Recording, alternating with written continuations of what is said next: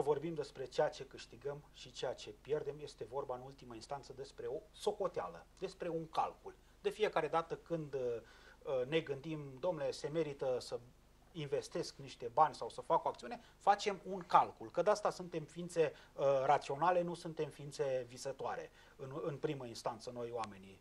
Uh, uh, din păcate, politicianul român observăm că nu este o ființă gânditoare. Ne propune cea mai mare transformare din țara asta, fără, niciun, fără să, să ne pună, să ne dea niciun fel de socoteală. Nu s-au făcut, nu există niciun fel de calcule și ar trebui să fie publice în momentul de față, câștigăm și ceea ce pierdem prin regionalizare.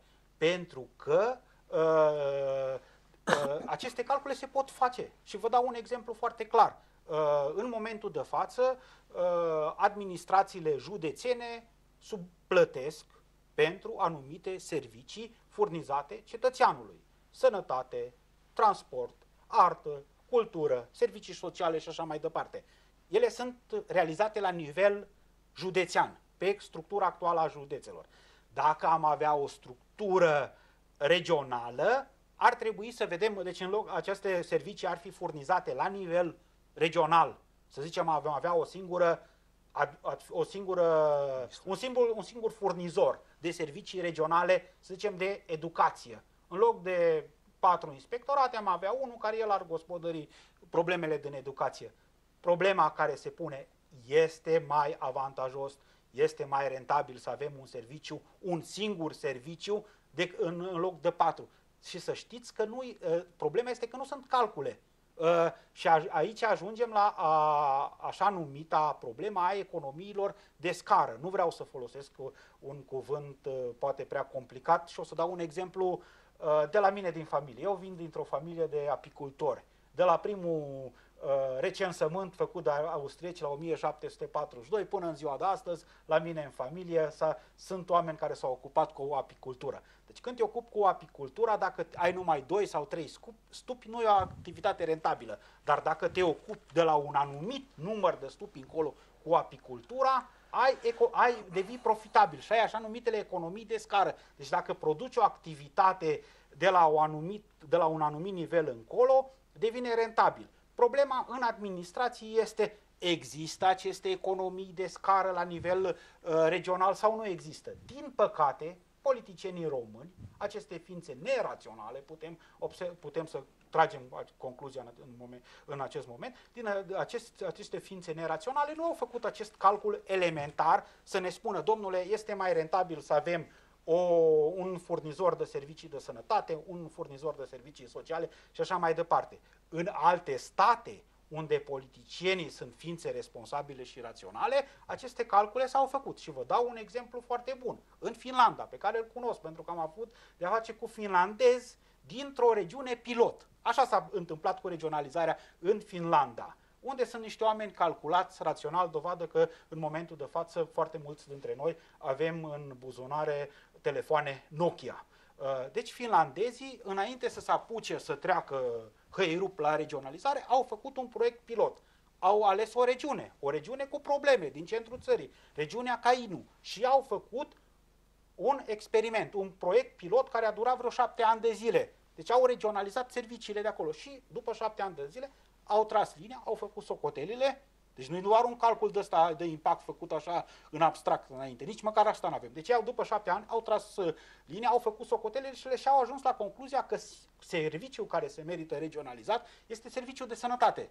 Dar nu se merită re, uh, regionalizat serviciul de uh, educație, nu se merită regionalizat administrația și așa mai departe. Deci asta este o perspectivă rațională asupra uh, regionalizării o perspectivă realizată de politicieni raționali. În schimb, la noi este acest balamuc în care nu vedem decât grupuri de interese care fiecare uh, vrea să mai înfaște încă, să mai, să mai ia ceva din... Da, dumneavoastră personal, ce grup de interese vedeți, domnul Berari? Dar este foarte clar, sunt grupurile politrucilor, acest, acest indivizi din, care sunt în administrație și care uh, nu sunt uh, mulțumiți cu ce au, ci vor și mai mult. În loc să fie, măcar dacă și-ar face treaba la nivelul la care sunt. Dar ce, ce putem să sperăm de la niște oameni care nu au fost în stare să rezolve problemele. Deci ei trebuiau să furnizeze cum mijloacele pe care le au la dispoziție, să furnizeze servicii publice uh, bune cetățeanului și apoi să ne demonstreze cu cifre, cu exemple concrete. Domnilor, uitați, am făcut tot ce a putut ce, ce a ținut de noi ca să avem uh, drumuri județene bune, ca să avem uh, spitale, ca să avem servicii de sănătate, dar din motivul ăsta A, B, C, D, ar fi mai bine uh, să avem uh, o administrație sau un uh, serviciu regional care să furnizeze serviciu. Nici e, evaluarea aceasta critică pe care o faceți se referă și la vestul României sau se referă la alte regiuni? Sigur, se referă la toată țara. Nicăieri nu există, nu există. Eu nu am întâlnit și vă spun că am scris un, mă, nu, nu e un studiu, pur și simplu am un, un document explicativ de 20 de pagine, a început să fie publicat în uh, secțiuni pe site-ul uh, Partidului Noua Republică, www.noarepublică.ro, uh, un uh, document despre regionalizare în care am discutat uh, într-un limbaj cât mai accesibil, am încercat să prezint cititorilor cum are rost să discutăm despre regionalizare. Și m-am documentat. Am, m-am documentat. Oricum uh, pot să zic că am habar despre, de, datorită activității profesionale, educației, am habar despre chestiunile care sunt uh, uh, importante în regionalizare. Am încercat să mă documentez, să citesc ceea ce s-a realizat în uh, România pe problema asta. Și am constatat două, două constatări, două concluzii triste a trebuit să trag uh, în final. Unu, uh, că uh, politicienii români nu au făcut, nu au încurajat niciun fel de studii preliminare, nu au comandat. Puteau să le comande niște studii preliminare în care să facă aceste calcule preliminare, evident, în care să vadă, domnule, e, în, dacă e mai rentabil să avem un serviciu public uh, la nivel regional sau județean sau chiar local, poate o chestie mai rentabilă să fie furnizată la nivel local. Nu există nicăieri în România, nici în regiunea de vest, nici în alte regiuni. Ce avem în regiunea vest, totuși este o bilă albă pentru regiunea vest, dar nu, nu revine administrației, ci revine Agenției pentru Dezvoltare Regională. În regiunea vest, de, în regiunea vest avem uh, un pachet de studii profesioniste, cum nu există nicăieri în România, despre situația uh, socioeconomică a regiunii vest și despre posibilitatea unei strategii de creștere inteligentă, așa cum ne cere uh, Uniunea Europeană. Deci avem, asta este, asta este un mare avantaj. Pe și care cine, nu, cine a rezolvat? Banca Mondială. Banca Mondială. Bun, Banca Mondială. spuneți-ne din concluziile acestui studiu, dacă A, e foarte greu, e foarte greu de... Sunt mai multe studii, de fapt, doar un, uh, menționez un singur aspect. Un aspect totalmente neglijat de politicienii care probabil nu-l înțeleg. Uh, avantajul potențial pe care regiunea vest, deci Aradu, Timișoara, Carol Severinu, Hunedoara, îl au în ceea ce privește logistica. Noi am putea să fim un mare jucător pe piața logisticii europene datorită așezării geografice. Să nu uităm că și Batuhan și Stalin pe aici au invadat Europa. Asta e un mare culoar de trecere. Uh, și uh, regiunea vest din România este foarte bine poziționată pentru uh, distribuirea mărfurilor Uh, da, în, în condițiile în care uh, uzina de producție a omenirii este China în mare măsură, foarte multe mărfuri, după cum vedem, sunt made in China. Ele în Europa, încă în momentul de față, vin prin Amsterdam, vin prin, uh, mă rog, Perin și așa mai departe. Uh, costuri suplimentare. Uh, în schimb, dacă România ar avea o politică inteligentă și ar avea alți primari, nu acest păcălici Uh, de doi bani numit Mazăre la, la, la Constanța, dacă am avea un politician local responsabil, care să nu fie corupt, cu, strate, cu, cu viziune, uh, Constanța ar putea fi un actor economic mult mai important la nivel de, uh, european. Uh, mărfurile ar veni pe și în, într-o măsură mult mai mare, ele vin și acum, dar într-o măsură mult mai mare, dacă ar fi o susținere din partea administrației, ar veni pe, ar veni pe Dunăre și de pe, deci de pe Dunăre, aici în, în județul Arad, Timiș, am putea să avem de aici să avem uh, nodul central pentru distribuția mărfurilor și către vest și către est. Să știți că pe undeva cu centrul acesta logistic zonal au intuit și, exact, și cei exact. din administrația locală, doar că vedem, doar că, vedem că este... lucrurile nu, nu, nu merg într-o direcție bună la Arad. Să vă dau un Domnul exemplu. Berari, la Arad s-a închis Singurul magazin Carrefour din România care s-a închis a fost la Arad și l-au transformat, au spus că îl transformă într-un centru logistic, magazinul e închis, nu se întâmplă nimic acolo. Uh, terminalul cargo de la aeroportul din Arad, așa mic prăpădit cum e aeroportul din Arad, are un terminal cargo realizat pe fonduri europene, care acum va fi transformat într-un terminal de pasageri pentru că nu există potențial pentru valorificarea acelui spațiu al terminalului cargo. Exact, pentru că noi gândim atâta ne duce mintea, atâta, din păcate, politicienii români sunt majoritatea, dacă e loc. Nu știu limbi străine, nu au oameni care să, sau măcar să aibă oameni care să citească pentru ei, nu sunt puși la punct cu problemele esențiale. Eu nu știu, chiar nu înțeleg de ce nimeni nu le face, de pildă, uh, primarilor. Eu, dacă aș fi și la Noua Republică, noi asta vom face în momentul în care vom. Vom avea niște materiale de informare foarte concise, primarilor, oamenilor din administrație ca să înțeleagă problemele fundamentale. Deci noi gândim doar în termeni de piață locală. Ceea ce am spus eu este vorba de o chestiune strategică care privește și, unde, și care este dincolo, într-un fel, de puterea unui primar sau unui, sau, sau unui Consiliu Județean. Este vorba de o strategie. De ceea ce am spus eu, nu se poate realiza atâta vreme cât uh, păcăliciul de mazăre este la... Dar noi putem avea o viziune strategică, există potențialul, problema este cum îl susținem. Și vă dau un exemplu foarte clar. Noi nu avem, deși avem nu știu câte sute sau mii sau zeci de mii de absolvenți de drept și de alte chestii dintre astea și așa mai departe. 15 mii într-un an. Așa, deci noi nu avem o specialitate în logistică la universitățile. Eu am discutat cu un specialist, un economist foarte, foarte bine pregătit, care spunea, domnule, asta e un mare, un, un mare dezavantaj. Cei care se ocupă cu logistică sunt oameni convertiți din alte domenii. Deci noi ar, ar trebui să studiem chesti, chestiunea asta foarte serios. În Germania sunt, putem să spunem, departamente, chiar facultăți, da, departamente de logistică. Logistica e foarte importantă și e clar că noi avem un, avan, un potențial avantaj comparativ. Și asta trebuie să descoperim în România. În ce putem să fim competitivi. Și, a, și administrația, uh, mă rog, decidentul uh, legiuitor și soluția asta politicianistă clasică. Pentru o problemă mai facem un, un comitet și o comisie. Nu, domnule, trebuie, problema trebuie rezolvată cu instrumentele adecvate. Și problema dezvoltării regionale, a disparităților regionale, a lipsei de competitivitate a firmelor sau faptul că firmele românești gâfâie sub povara fiscală, uh, gâfâie sub uh, hăți, în uh, legișul, hățișul legislativ și așa mai departe, trebuie rezolvată cu mijloacele adecvate și nu cu fantezia asta despre regionalizare. Asta Bun. este problema. Domnilor, luăm o pauză publicitară, revenim după pauza publicitară discutând cele două scenarii. Scenariul A iese Hunedoara din regiunea vest și rămân trei județe, scenariul B iese Hunedoara, intră Mehedință în regiunea vest și rămân tot patru județe. Să vedem ce se întâmplă în aceste două situații. Revenim cu această discuție după o scurtă pauză.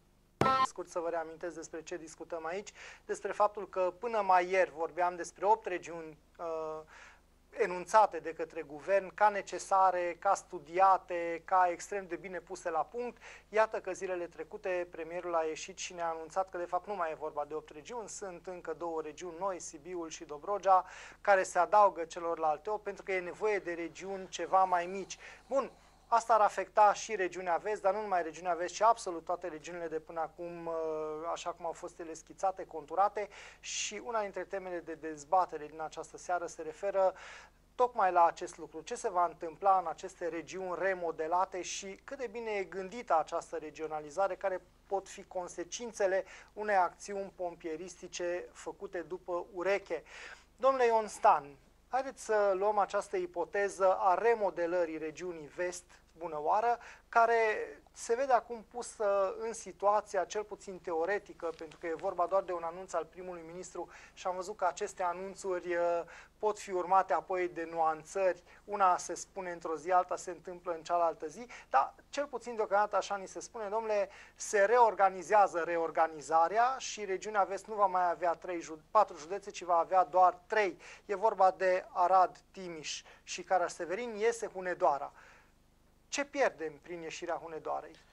Acum, noi nu știm Și nici ce câștigă ce am ceilalți? câștigat, nici ce avem de pierdut, dar uh, într-un uh, uh, fel de a face re- regionalizare, așa și cum spunea și colegul meu, de la 8 regiuni la 10 regiuni, asta înseamnă o, o perturbare a sistemului, adică sunt anumite interese ale anu- anumitor politicieni la vârf, uh, și aici mă refer la cel din uh, zona Mehedinț, uh, domnul Frunză Verde, Cara și e președintele Care- Consiliului da. Județean. Uh, pe urmă la Sibiu, unde domnul Iohannis este uh, prim vicepreședinte al Partidului Liberal, probabil că acolo sunt interese ascunse și de-aia se mai face la un nivel de troc politic încă o, o, o, o zonă unde fiecare să aibă ceva de câștigat. Interesele nu sunt ascunse, domnul Stan. Interesul este să-și augmenteze puterea politică și influența. Păi, A, asta Există e problema. o- Asta este problema în ceea ce privește, eu știu, scenariile astea.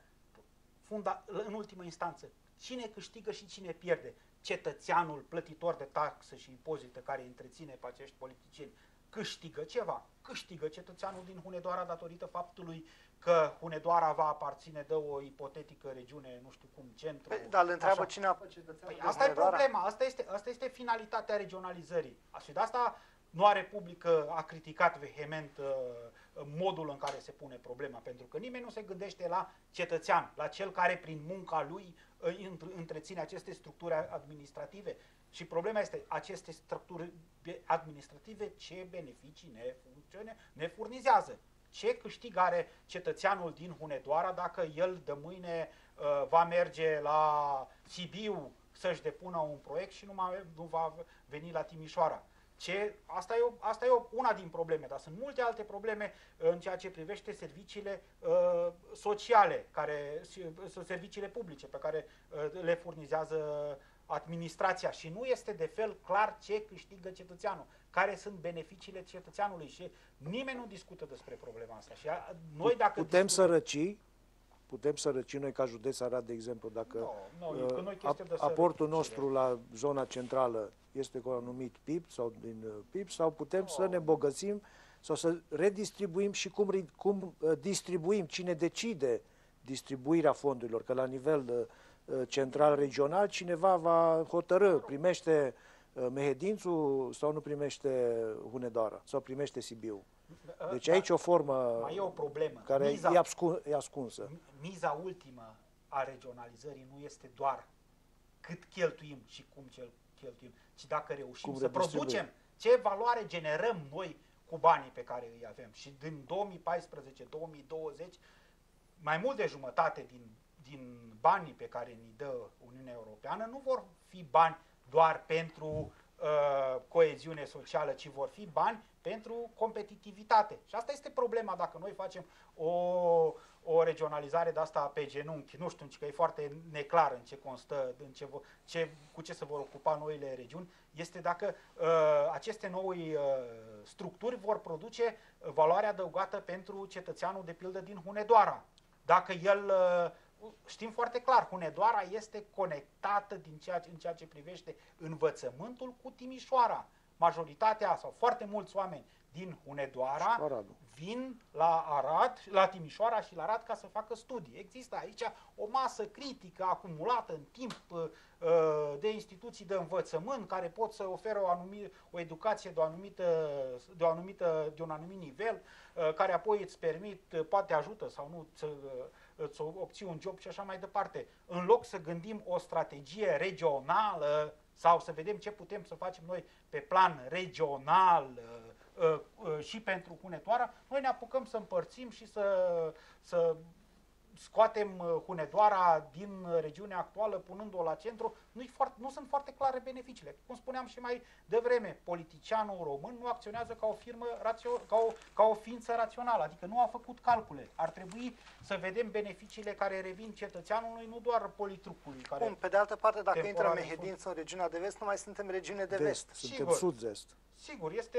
care este Sud-vest. uh, în studiu băn- bănci, studiile băncii mondiale pe care le, rec- le recomand cu căldură oricărui uh, politician care vrea uh, să aibă o idee despre care sunt mizele reale ale regionalizării, dar unui politician capabil să citească mai mult decât uh, articolele din uh, ziar, din click sau de unde se documentează dumnealor. Deci dacă dumnealor ar avea bunăvoința să consulte sau să pună pe cineva să le facă un rezumat din studiile băncii mondiale, ar putea vedea de pildă care sunt fluxurile de transport. E un lucru foarte interesant calculat de Banca Mondială cât îi ia cetățeanului din, uh, din diferite părți ale regiunii actuale ca să aibă parte de anumite servicii, cum ar, am spus mai devreme, educație, sănătate, anumite servicii de sănătate, uh, uh, uh, trecerea graniței și așa mai departe. E foarte interesant pentru că fluxurile în general se, uh, merg către, către Timișoara, dar doar Valea Jiului este conectată într-un fel cu, nu, toată, nu tot județul Hunedoara, ci Valea Jiului, în Valea Jiului poți să ai parte de anumite servicii mergând către București, Pitești și așa mai departe. Uh, în schimb, uh, uh, cealaltă uh, partea din județul Hunedoara, care este pe râurile Mureș și uh, Crișu Alb, este natural într-un fel conectată cu uh, Aradul și cu Timișul.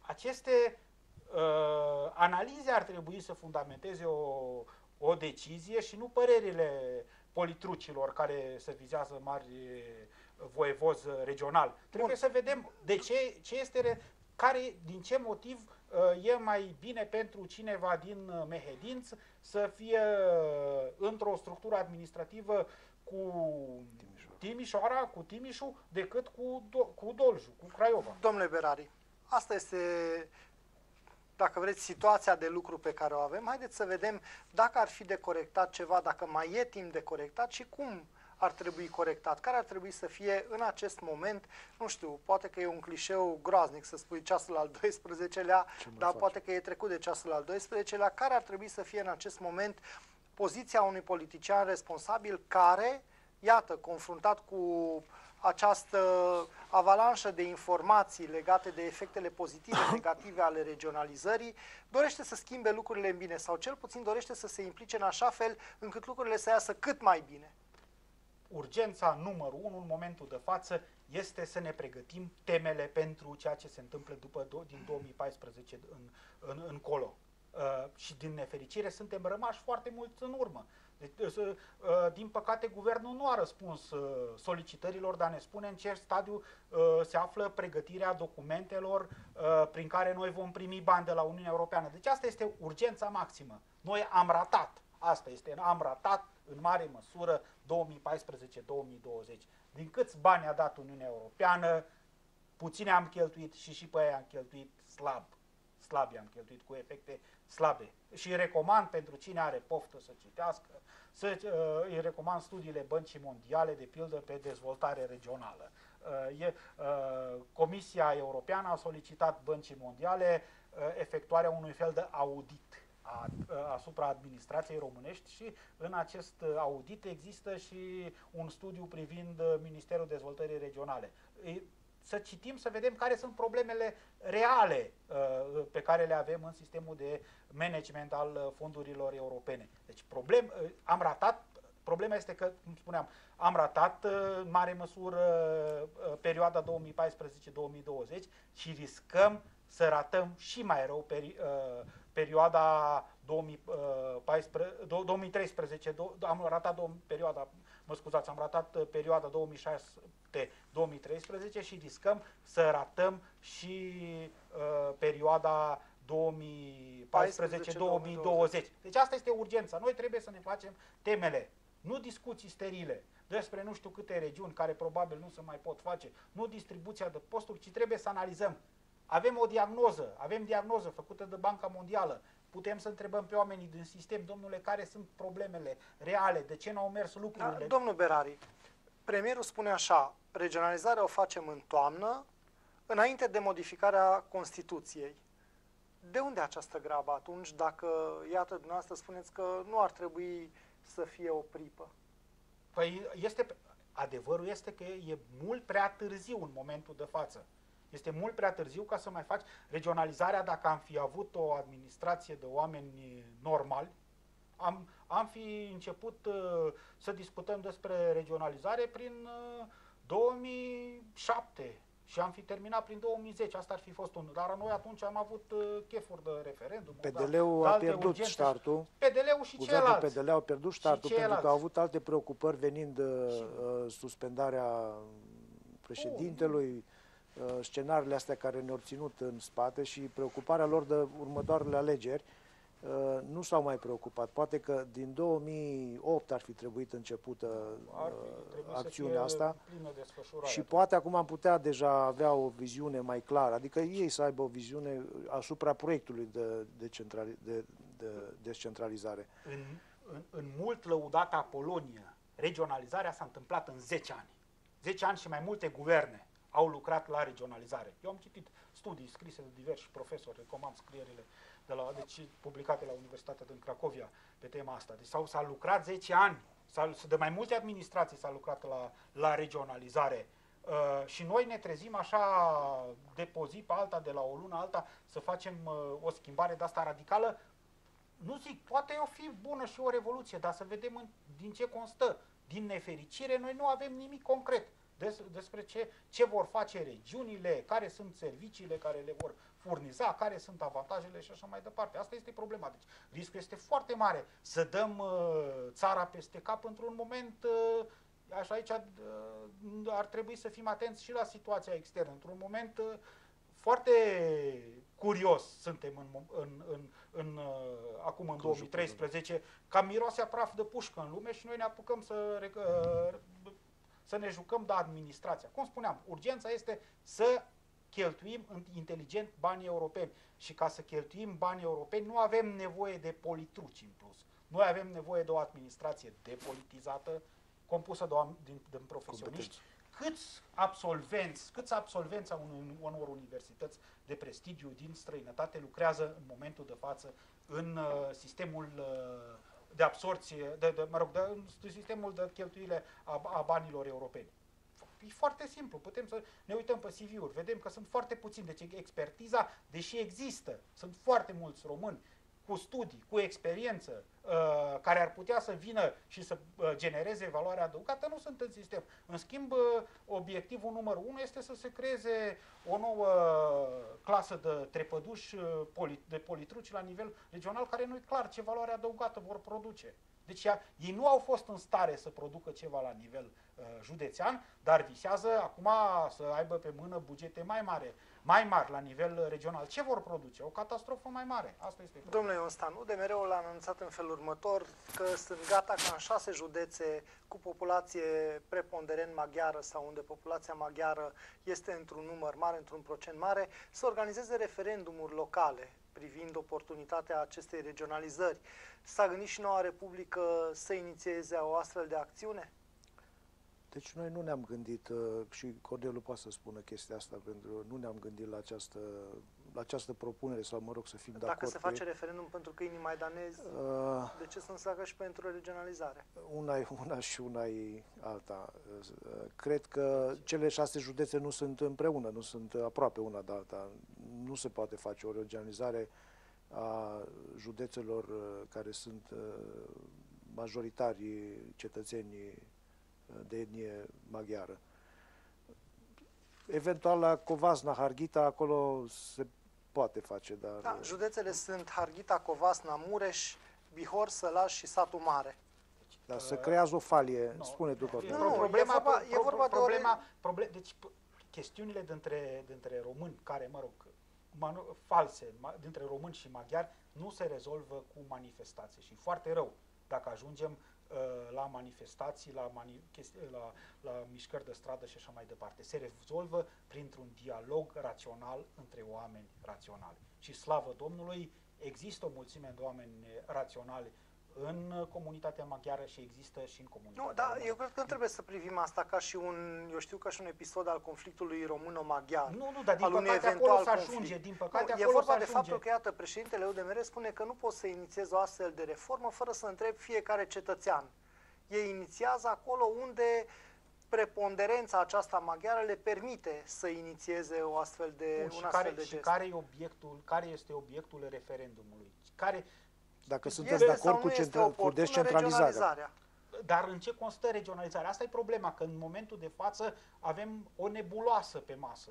Deci ce, ce, ce ne-a furnizat până acum USL-ul este o nebuloasă. Cel mai coerent document este un PowerPoint care uh, nici nu se mai găsește. Eu l-am uh, descărcat înainte să ajungă ei la putere. Bine, era o chestie incoerentă în ultima instanță, oarecum mai structurată decât a lui Băsescu, dar asta, asta era tot, tot ce a furnizat USL-ul, era un PowerPoint. Dar deja s-au schimbat foarte multe lucruri de, uh, de la ce scria acolo. Deci trebuie să avem un obiect al discuțiilor și apoi să avem o discuție rațională, fundamentată, pe cifră, pe cifre ca între oameni uh, cu scaun la cap și nu visători. Asta trebuie și la discuția asta, evident, uh, trebuie să participe și cetățenii români de etnie maghiară. Putem discuta clar și despre dimensiunea culturală, etnică, poate a administrației, dar trebuie să discutăm uh, și să avem niște propuneri